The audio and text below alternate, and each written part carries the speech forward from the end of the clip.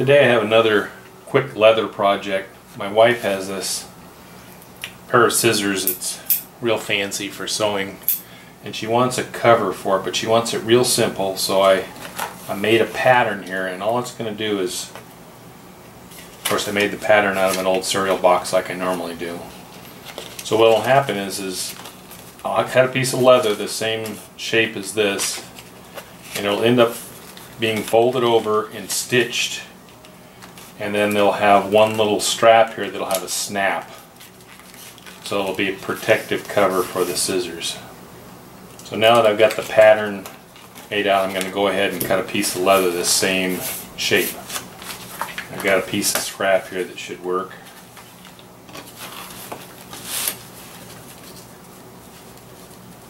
I'm just going to cut it out and, uh, or uh, trace it out and then cut it with another pair of scissors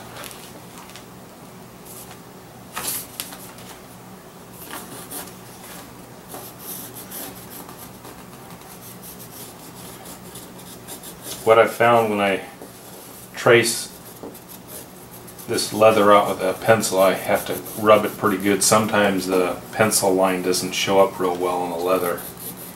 This time it looks like it's showing it pretty good.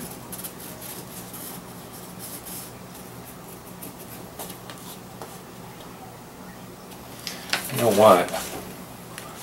That's the, um, this is going to be the outside. I should probably trace it from the inside because it's going to fold like this. Me retrace it on the back here.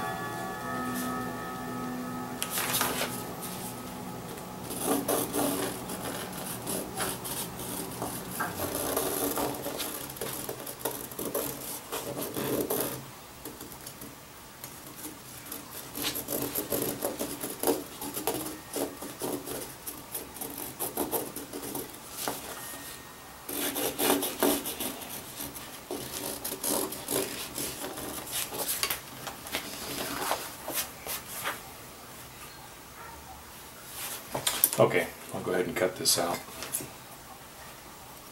Oops, I want to use those good scissors, I'll get in trouble. Use these leather scissors.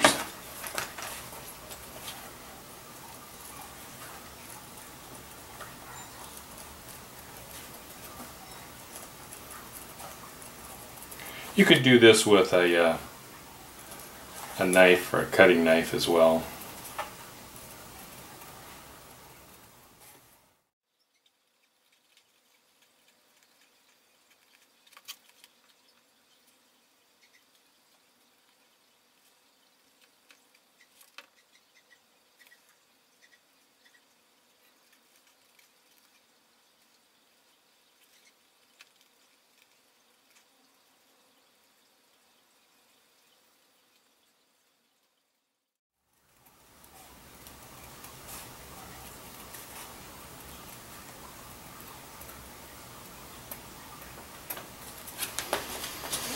Okay. Next thing I'm going to do is I'm going to go ahead and um, bevel the edges all the way around on this thing. I'll be back in just a minute. Okay, the next thing I'm going to do is go ahead and bevel the edges here so it kind of has a round edge with this beveling tool.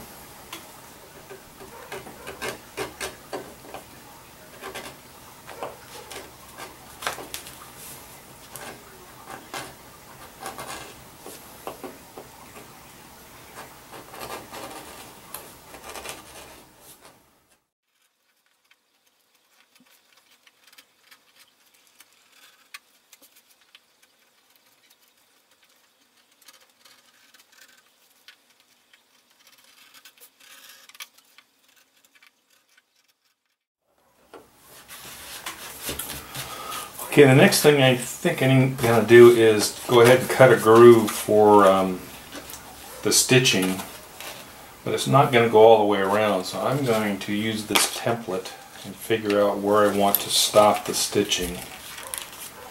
So I think it will go up to about there. So I'm going to mark this right where I think that stitching is going to go.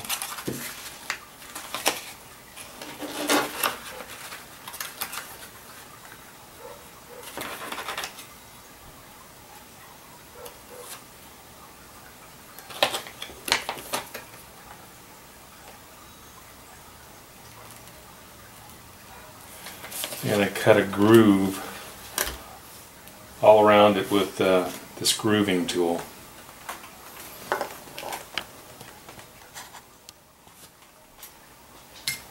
Okay, let's do this grooving tool. And it's set in, oh, about an eighth of an inch, maybe a little bit more.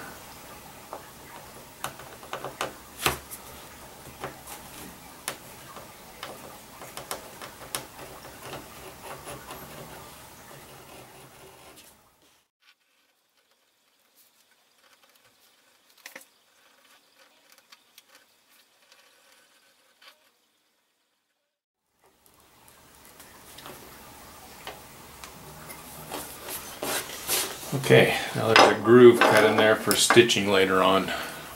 You can see that groove.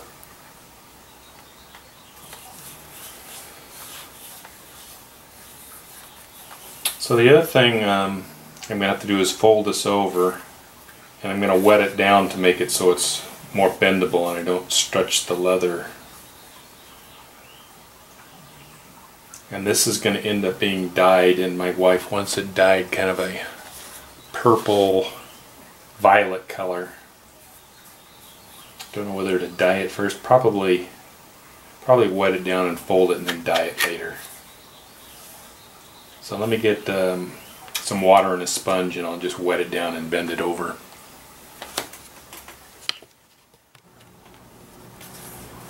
I decided there's one more thing I need to do before I fold this over. I'm going to make a little pattern along this entire edge where it's going to get stitched with these two tools. Hopefully you can see that. So I'm going to get the leather wet first.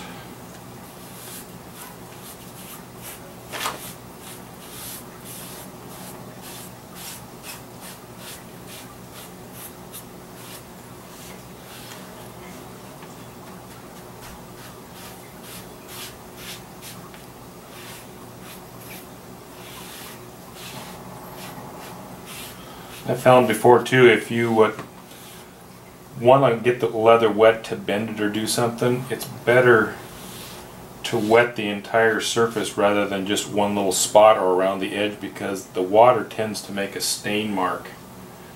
And if you get the whole thing wet, it will dry and look even when you're done.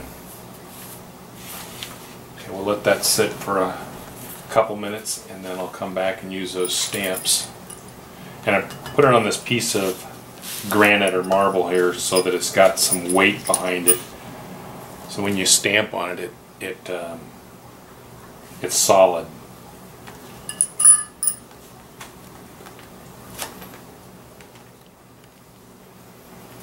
Okay, I'm going to start with this tool and I'll just make a pattern.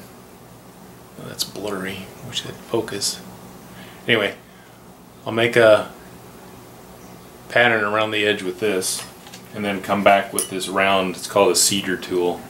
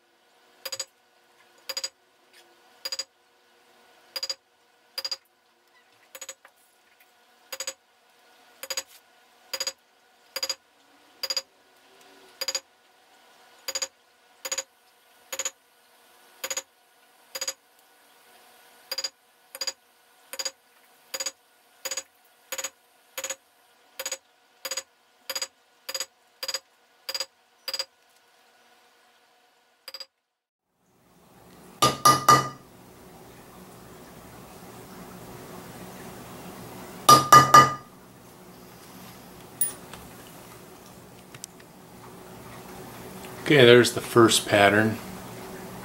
I'm going to put a little circle on each one of these, or next to each one of those.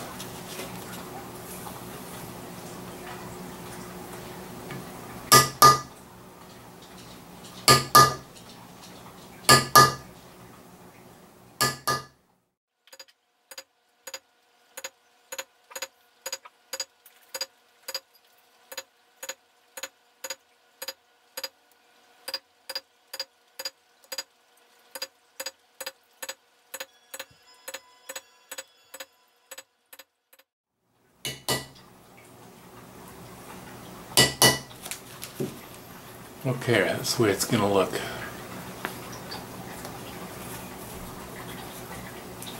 Next thing to do is to fold it over.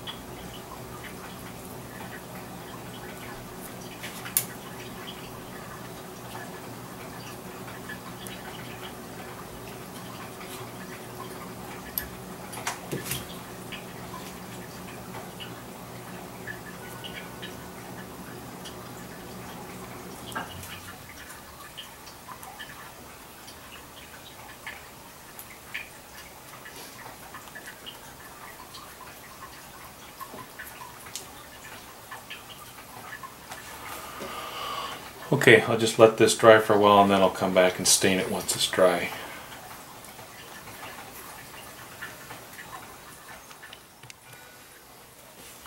Okay, I'm ready to put on the dye.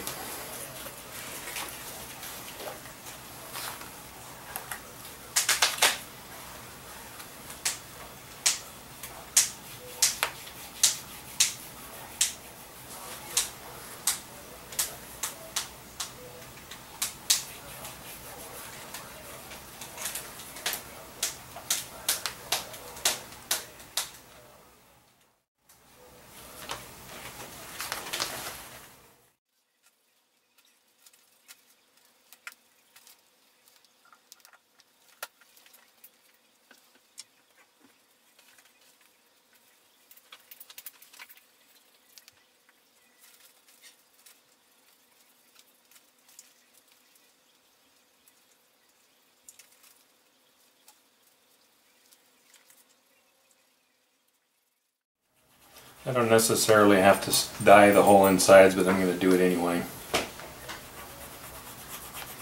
That way if there's any exposed edges or you can see inside of it, it, it uh, will still look the same color.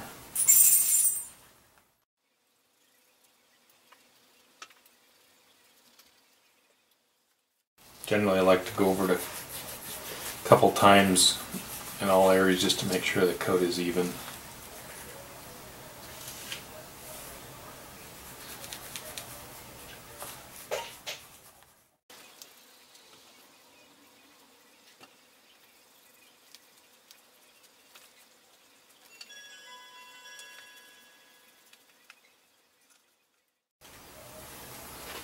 Okay, just let that dry.